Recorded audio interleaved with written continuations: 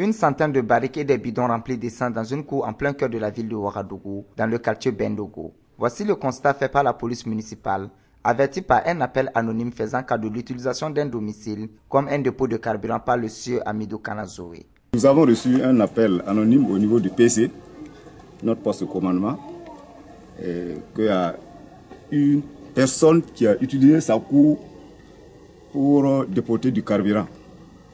Alors, dans de pareilles situations, nous étions obligés de nous déporter sur les lieux alors, pour voir exactement ce qui se passe.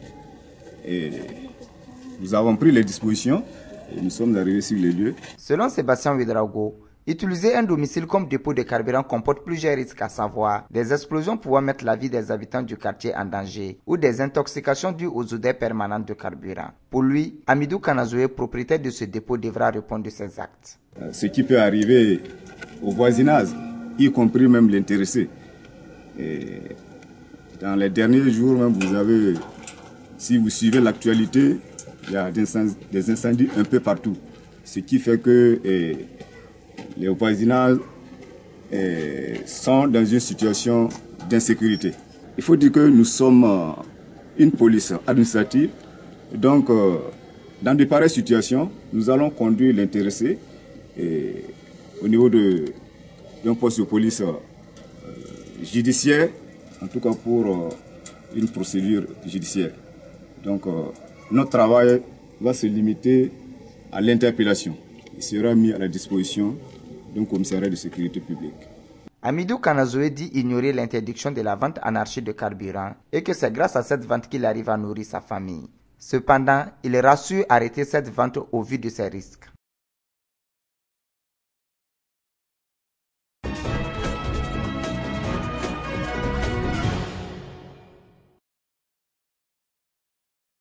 Ce face-à-face entre Simon Compaoré, le ministre en charge de la sécurité intérieure, et les patrons des trois réseaux téléphoniques s'articule autour de trois points. Le premier point est relatif à l'identification des puces, le deuxième concerne la collaboration de ces réseaux avec les forces de sécurité et le troisième point fait état de la qualité des prestations de ces réseaux pour leurs clients. Nous, on, on estimait qu'il fallait qu'on les appelle et qu'on leur demande de redoubler d'efforts pour que l'identification là soit réelle et totale et que personne ne soit détenteur d'un téléphone avec une puce dedans qui n'ait été identifié. Parce qu'aujourd'hui, eh, on a besoin de savoir qui est qui. Deuxièmement, eh, il y a l'autre aspect qui est que lorsque les forces de gendarmerie ou de police eh, sont à la trousse de certaines personnes, des bandits ou des terroristes, on a besoin d'un certain nombre de précisions par rapport aux communications, au machin. Donc, les sociétés de téléphonie là, peuvent donner un certain nombre de précisions qui permettent d'assurer véritablement la sécurité des populations. Du côté des patrons des réseaux téléphoniques, le message semble bien passé. Je pense que c'est une approche euh, que nous souhaitions depuis longtemps et qui vient d'arriver à point nommé. Donc euh, c'est très encourageant en tout cas pour nous. Euh, d'avoir exprimé tout simplement l'état des lieux actuellement, de, comprendre encore plus et mieux la position des autorités. Je pense que l'ONATEL et Telmop travaillent d'arrache-pied pour être euh, en conformité avec les exigences de, de, de cahier des charges et les exigences des autorités. Les administrateurs de ces réseaux ont aussi souligné quelques difficultés qu'ils rencontrent sur le terrain avec les populations, surtout au niveau des implantations des pylônes pour renforcer la qualité du réseau. À ce niveau, le ministre a suggéré de maximiser la communication avec la population afin de leur permettre de comprendre le bien fondé de leur projet.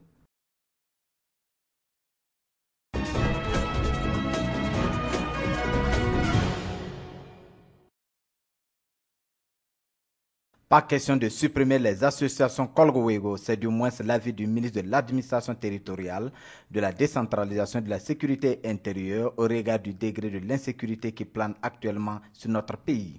L'heure, le contexte actuel dans lequel nous évoluons, au moment où nous appelons de tous nos voeux la population à collaborer, les journalistes à collaborer, les transporteurs à collaborer, les hôteliers à collaborer, les gens des marchés y a à collaborer. les paysans à collaborer, les éleveurs à collaborer, les bergers à collaborer, tout le monde. Ce n'est pas à ce moment-là qu'il faut avoir des positions qui peuvent ne pas être comprises. C'est pourquoi on a dit, pour ces Congolais, il convient d'abord de leur indiquer la voie qui sied. Et la voie qui sied n'est rien d'autre que leur reconnaissance légale et une canalisation de leurs actions. Se faire reconnaître. Et donc, ils doivent déposer un dossier. Un dossier qui va être étudié par la direction générale, la, la structure compétente du ministère. Deuxièmement, il faut qu'ils sachent qu'ils ne sont pas des auxiliaires, ils ne sont pas des officiers de police judiciaire. Les officiers de police judiciaire, c'est les gendarmes, les policiers. Donc ça veut dire que quand ils arrêtent quelqu'un, ils doivent amener cette personne-là, remettre cette personne entre les mains de la gendarmerie ou de la police. Pour le ministre, leur rôle est primordial pour le renforcement de la sécurité actuelle. Comme cette organisation où il faut exercer un peu de muscle pour arrêter des malfrats qui tuent, parce que quand ils arrivent, ils ne demandent pas, il y en a qui demandent l'argent, mais il y en a qui demandent l'argent et puis on vous tue. Non, soyons honnêtes avec nous-mêmes. Si dans l'affaire de la sécurité, nous ne voulons pas impliquer correctement les populations, on va avoir des problèmes. Même si on nous amène des chars, hein, des armes les plus perfectionnées, tout cela, ça ne serait qu'un amas de ferraille. Pourtant, les magistrats demandent le démantèlement pur et simple de ces associations car les sanctions infligées aux présumés coupables sont illégales.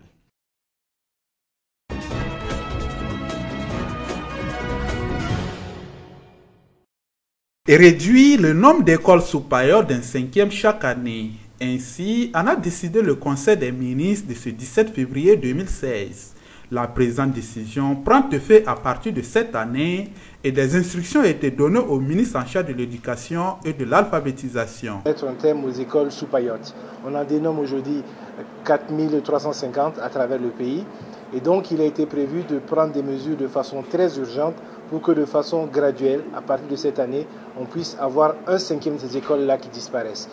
Il s'agit donc de trouver des mesures innovantes, mais d'impliquer également les populations, notamment en termes de contribution, pour que cela se réalise et qu'elles aient un intéressement à ce qui se met en place. Afin de confirmer la gratuité de l'école, le gouvernement a entrepris d'opérationnaliser la dotation des écoles en cantine scolaire. Pour ce faire, les collectivités territoriales seront mises à contribution.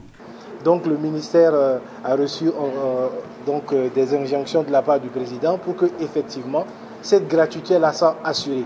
Il va s'agir de trouver les moyens très rapidement pour qu'il y ait un, passage de la gestion de ces cantines-là au niveau des collectivités territoriales, des communes, etc., afin de réduire les questions de coûts de transport et de disponibilité. Les membres du gouvernement ont été aussi informés de la venue du Premier ministre français Manuel Valls accompagné de son ministre de la Défense. Qui, se tient, qui aura lieu donc le 20 euh, février prochain. en plus du Premier ministre français, il y aura une forte délégation, parmi laquelle donc le ministre euh, de la Défense euh, de la République française, avec notamment une rencontre prévue avec le président Roch Christian Kabouré, et puis la signature d'une convention avec l'AFD. 6 heures, c'est le temps qu'a duré le Conseil des ministres de ce mercredi 17 février 2016, qui a pris fin par la naturalisation de plus d'une centaine de personnes.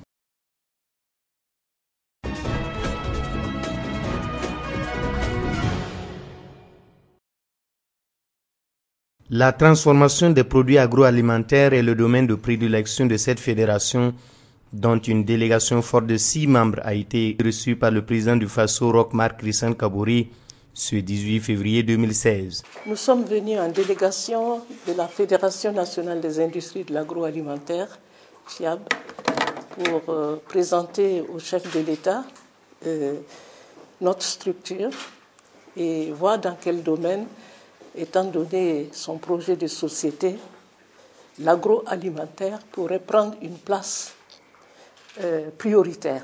Les difficultés, il en a été également question dans l'entrevue entre le président du FASO et la délégation de la FIAT Les difficultés sont énormes.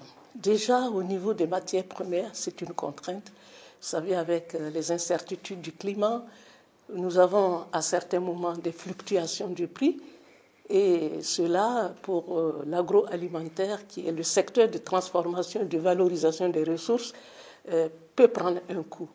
Vous avez également comme difficulté, comme contrainte, le problème de, euh, nous dirons, euh, le financement. À l'occasion, la Fédération des industries de l'agroalimentaire et de la transformation du Burkina Faso a exprimé au chef de l'État ses attentes. Nous avons des projets qui sont pour le moment dormants. Il faut un siège pour le, la Fédération des industries agroalimentaires. Et nous avons également comme projet le centre multiservice. Le centre multiservice pour accompagner l'émergence des petites et moyennes entreprises agroalimentaires qui partiraient de, de, des régions, ensuite va descendre au niveau des provinces, au niveau des communes. Ces agroalimentaires repartent de la présidence avec la pleine volonté de participer pleinement pour leur part à l'essor économique d'un Burkina nouveau qui du reste a besoin de l'apport de tous en consommant burkinabé.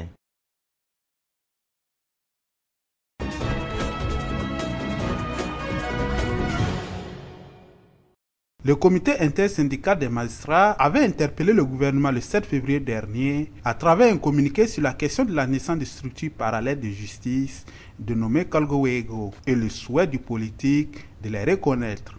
Pour le comité intersyndical, au regard de l'extension et l'expansion de ces structures privées et informé de gestion des questions sécuritaires, judiciaires et pénitentiaires dénommées Kolgowego, beaucoup d'inquiétudes subsistent. Nous, nous avons fait un constat qui est amer. Ce constat est que des structures privées, illégales, se sont arrogées de pouvoirs pour agir dans un certain nombre de domaines qui sont encadrés par les règles de droit. Il s'agit essentiellement des mesures de détention, de jugement, euh, de torture contre des populations sur la base du fait que ces individus seraient en fait des auteurs d'infractions. L'Union intersyndicale des magistrats reconnaît toutefois la problématique de la sécurité au Burkina. Elle interpelle cependant le pouvoir public à prendre ses responsabilités. Je voudrais souligner que nous reconnaissons que le besoin de justice et de sécurité est assez pressant et sinon fortement exprimé par nos populations, mais nous estimons qu'il appartient au gouvernement de donner des réponses appropriées parce qu'il n'est pas intéressant dans ces domaines-là qu'on puisse laisser l'initiative privée prendre le pas sur, n'est-ce pas, je dirais, l'action de l'État. Et les bavures constatées ces derniers jours semblent donner raison aux magistrats. Vous savez qu'à Mégué, il y a eu mort d'homme et cinq personnes ont été déférées devant les tribunaux burkinabés. Hier, à Sapui, il y a eu mort d'homme. Nous avons alors, quand nous faisons l'analyse, certainement eu raison de très tôt dire qu'on ne peut pas cautionner de telles choses. Après la reconnaissance de cette association par les pouvoirs publics, les responsables de l'Union syndicale des magistrats attendent de faire le point des actions entamées à la base qui avisera.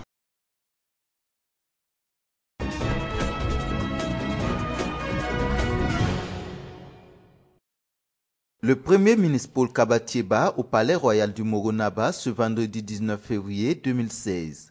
Le chef du gouvernement est allé remercier l'empereur suprême des Mossé pour ses actions de paix pour le Faso et lui demander des bénédictions pour l'accomplissement de la tâche à lui confier par le président du Faso. Ah, c'est d'abord euh, pour euh, rendre hommage à Sa Majesté, le remercier pour tout ce qu'il fait, fait, pour le pays et ensuite euh, de, demander des bénédictions et des, conseils pour euh, la mission que euh, Son Excellence, le président du FASO, M. Rochma Christian Kawaré m'a confié. Et donc Sa Majesté m'a confié, m'a prodigué de bons conseils et des bénédictions que je suis sûr m'aideront dans ma tâche. Et pour qu'il puisse réussir sa mission, le dépositaire des traditions Mouaga a demandé au chef de gouvernement de garder un langage de vérité dans toutes ses actions. Et cela, le Premier ministre entend l'inculquer à tous les membres de son gouvernement. L'empereur a dit, il faut rester toujours dans la vérité, sur le chemin de la droiture. Et il a dit également, il faut travailler toujours dans l'intérêt du pays. Et à ces conditions-là, je serai toujours à vos côtés pour vous aider. Si vous êtes dans la vérité, si vous êtes dans l'intérêt du pays, je serai toujours avec vous. Et, c'est cette ligne de conduite-là que je vais essayer de, suivre et d'imposer. Enfin, en tout cas, je ferai en sorte que mon gouvernement, tout le monde travaille avec cet esprit-là dans la vérité.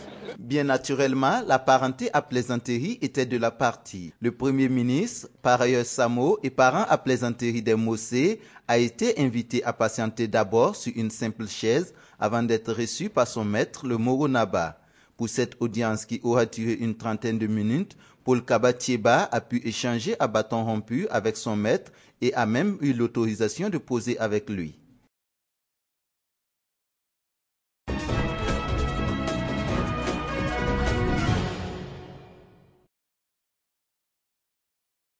Sapui, localité située à 100 km de Ouagadougou, a été au cœur de toutes les polémiques ces dernières 48 heures et pour cause la mort d'un présumé voleur de bétail suite à des sévices corporels des associations d'autodéfense Kolwego, dont le président de l'association Kolwego de Bakata, d'où est venu le problème que nous avons rencontré dans sa version des faits. Sinon, évidemment, c'était la soirée du 15 qu'on l'a amené ici, à Sapui, au siège de Kolwego.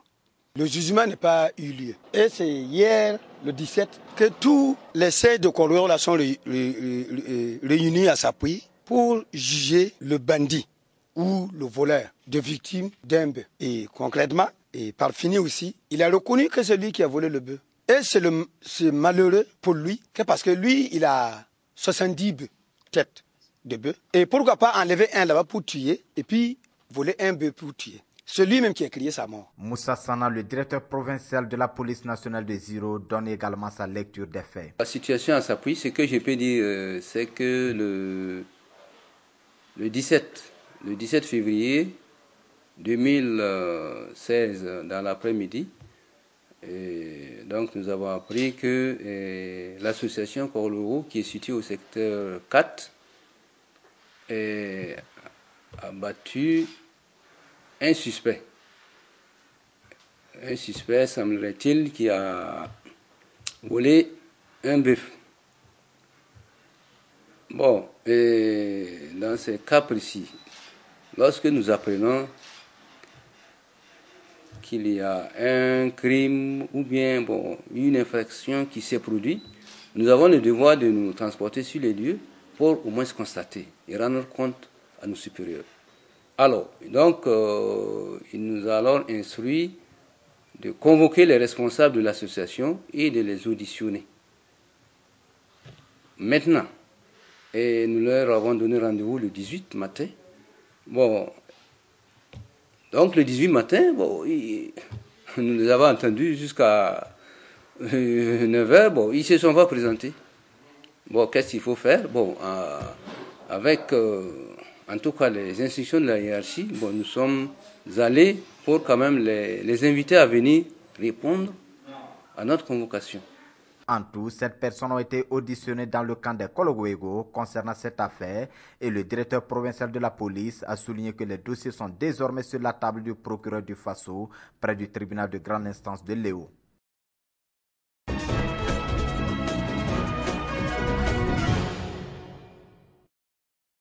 C'est à 9h dans la matinée de ce samedi 20 février 2016 que le Premier ministre français Manuel Valls a atterri à l'aéroport international de Ouagadougou en provenance du Mali. À sa descente d'avion, il a été accueilli par son homologue burkinabé Paul Kabacheba, accompagné de quelques membres du gouvernement, dont le ministre en charge de la sécurité, celui en charge des affaires étrangères et le vice-président de l'Assemblée nationale. Après quelques minutes passées au pavillon d'honneur de l'aéroport, Manuel Valls s'est conduit en cortège automobile au palais présidentiel de Kosiam où il s'entretient avec le président burkinabé Rochmar Christian Kabore. Au menu de leur échange, la situation sécuritaire du Burkina et des questions relatives à l'éducation. À 10h30 minutes, intervient la signature de la convention de l'Agence française de développement entre le ministère de l'économie, des finances et du développement, Rosine Koulibaly, et l'ambassadeur de la France au Burkina, Gilles Thibault, en présence des deux premiers ministres. Après la signature de la convention de l'AFD, un point de presse est animé à Kosiam par Manuel Valls et Paul Kabatieba. face à la presse, le chef de gouvernement français a salué l'organisation des élections couplées du 29 novembre dernier et réaffirmé le soutien de la France au Burkina. 11. Le cortège du Premier ministre français prend la direction de la résidence de France, où il a rencontré les forces spéciales françaises et la communauté française vivant au Burkina, respectivement à 11h30 et 12h30. Manuel Valls confie à ses compatriotes qu'il doit être fier d'appartenir à deux grandes nations, la France et le Burkina. Puis à 13h30, il s'est agi pour lui de visiter l'hôtel Splendide et le restaurant Cappuccino où les attaques terroristes du 16 janvier dernier se sont déroulées. C'est à 13h45 que Manuel Valls regagne l'aéroport de Ouagadougou, d'où il décolle à 14h en direction de la base militaire de Vélézy, Villacoublé, au terme d'un séjour bref mais fructueux.